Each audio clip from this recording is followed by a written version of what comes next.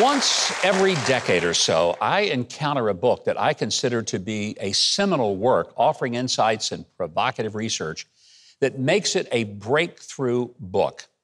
Dr. Todd, Dr. Todd Rose has written just such a book. He's a former Harvard University professor, co founder, and president of the Populace Think Tank. He says every one of us has something valuable to contribute to society, but much of what we believe is often developed by bad information and false assumptions. And it actually can lead us to be personally making very bad decisions, even causing us to act against our own best interest.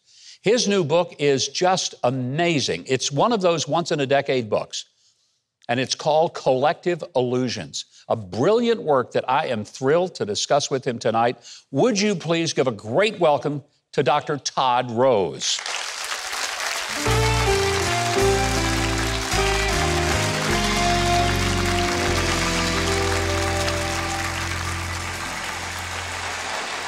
I want to say how grateful I am to have you here. This is a, uh, an incredible sort of look at America, what we believe, and it's not what we think we believe about each other, is it? Right, yeah. The thing that was so shocking, you know, my think tank Populace, we study what's called private opinion, not just what people will say out loud, yeah. but what do they really think? And what we found in, in place after place, subject after subject, is we are spectacularly wrong about what the majority in America thinks and believes. And as a result, we often end up wanting to conform to the group. You know, yeah. no one likes to be against the group. And so our conformity gets weaponized, and we end up following this phantom, and, and we all end up doing something that almost nobody in the country really wants to do. During the early days of the pandemic, there was a perception that there was this massive toilet paper shortage, and we all needed to rush to the store and get the last roll of toilet paper, and as a result, the shelves were empty.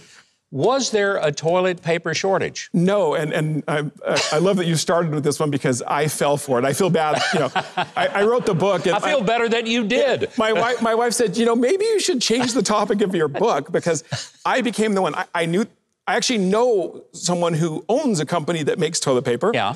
I called him and I said, Is this real? And he said, No. but, Let me ask this question How many of you went out and bought extra rolls of toilet paper because of. All right. So, so the, the cool yeah. kids. Yeah. The cool kids. Some of them are not being honest. I know darn well they went out and bought toilet paper. yes, they did. So my, my problem was I knew for sure there was no shortage. Yeah. But I was convinced everybody else thought there was. And so I went there and I thought, well, I better get some, right? And yeah. so I'm there picking it up. I had, I mean, in our basement to this day, we have enough for like Armageddon. And, you know, but, but, and, and, you know, it's fun when it's toilet paper, yeah. right? Small things. What happens when that collective illusion is about our fundamental values as a country, mm. about the way we want to treat one another? See, that's when it becomes very, very, really life changing for people. So in the book, it's collective illusions. What is a collective illusion that is dangerous for America? Look, so first of all, as, as we've been talking about, collective illusions are these instances where yeah. the majority of people in a group go along with something that they don't agree with simply because they incorrectly assume everybody else in the group believes it. They become destructive. I'll, I'll tell you the one for me okay. that I think is the most destructive right now we did something called the American Aspirations Index at Populace, looking at the private aspirations that Americans have for the future of the country. Here's what's crazy. Before we gave people this private opinion instrument, we just asked them, do you think we're more united or divided as a country? 82% said more divided. Half of those people said extremely divided. Worse, when you split by who you voted for in the uh-huh. last election, a majority of both sides said the other side no longer shares their values for the country. Okay? Mm. Okay. And yet, when we put them through this private opinion instrument, completely different story. Out of, out of dozens and dozens of possibilities of what you could want for the country across all demographics, we share most of them in common, our highest aspirations. But we don't think we do. So, so when you say we share aspirations, what are some of those aspirations so that we share? This is what makes me so happy and hopeful. The things we share in common across all demographics are nothing short of core American values. we want to be treated equally, regardless of background, right? We want a fair shot at earning our own success, uh. right? And we really don't want this group level grievance and expectation that we get handouts without earning it. We don't. And it, it's nothing short of we still want the American dream, right? Mm. That the problem is not that we are divided as a country. The problem is that we believe we are divided and the consequences become real as a result. So we end up acting out what we think everybody believes rather than what the truth is. It's why I love this book. It was so eye opening. One of those that I just said, Oh my gosh, this guy ought to be on every platform. And he's here with us, and we've got more questions for Dr. Todd Rose. You better stick around because we're going to find out what kind of impact our assumptions will have on our individual thinking and behavior, as well as on our communities. More with Dr. Todd Rose right after this. Welcome back. We're talking with Dr. Todd Rose. He's the author of this book. It is absolutely a page turning, stunning revelation of what we're really about in this country. Uh, Todd, thanks for staying with us and continuing this discussion. When you talked about what we really believe deep down when we think we can be honest. I'm hopeful. I'm optimistic. And frankly, the last few years, it's, it's been so easy to be pessimistic and think this country is toast. Yeah.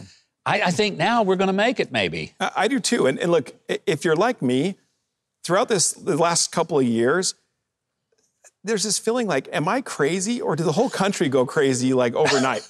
right? Yeah. Because I thought I, I, knew we had some differences, but I thought we had some common values. This is what I hear across the board. My progressive friends, my libertarian friends. Am I crazy or did the country go crazy? Some of them are, by the yeah. way. No, I'm, I'm, just kidding. And, I'm sorry. About that. And they're on Twitter, right? Um, they're on Twitter. And, yeah, they're responding to everything I right. tweet. yes, they are. We'll hear from them soon. Yes, we will. But let's talk about some more things that are not what people perceive.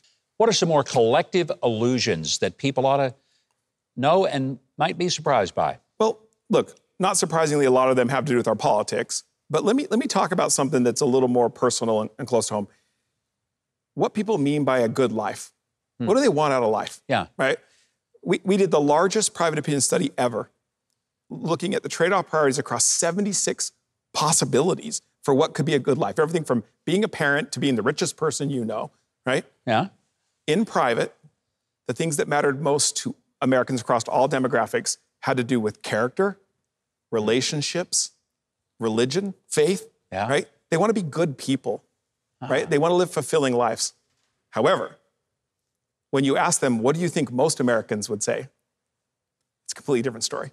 They what, think everybody they... is obsessed with status, wealth, power. Let me give you a, a finer oh. point the issue of fame. Yeah. Out of 76 possible trade off parties, remember, you can't game these instruments, that, that you can't fake them. Yeah. We think that most Americans would rank that as the number one most important thing to a successful life. Fame. Yeah, which kind of seems right. Like we think everybody cares about it. In private, it's dead last. Dead last. 70s.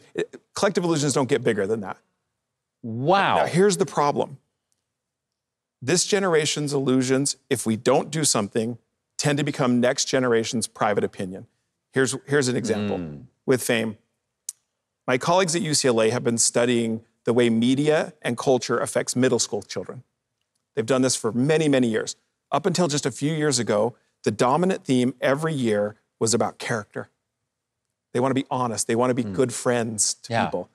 A few years ago, it changed, and it hasn't changed back. It's now, I want to be famous. You know, I think every CEO needs to read this book because they have a different understanding of their customers than, than is real. You know who else needs to read this book? Every pastor in America needs to read Collective Illusions and understand their congregation is not who they think they are. And I think this is really important because the, the two groups you just named, leaders and pastors, have an outsized effect on shattering collective illusions, right? Huh. And so by falling for the illusion and, and not shattering it, we are allowing it to be promoted, right? So, for example, we looked at um, what people want out of work. Yeah. You know what they don't want? Out of 50 some odd possibilities, they don't want leaders taking social positions all the time. They just don't.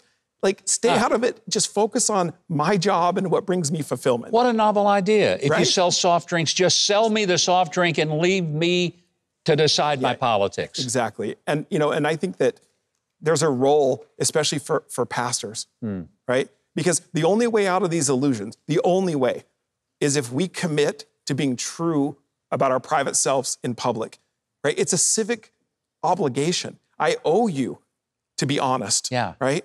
And that has always been the call of our faith leaders, right? Call us to our better angels. Remind us about our obligations to one another. If we can recommit to that, we'll be just fine. You know, I found myself in reading the book thinking, this is a better sermon than most of the ones I've heard from pulpits because of what you just said. Calling people to be who they really are and not pretending to have feelings and emotions.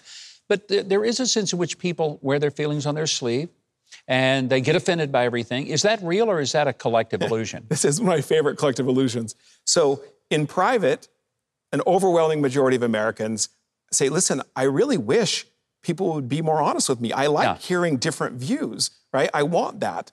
Um, but they are so convinced that other people are so sensitive that they just can't handle differences of opinions, right? Which, from our research, is why we know this that two thirds of Americans right now admit to self silencing. Mm-hmm. Two thirds. That, that is four times higher than during McCarthyism.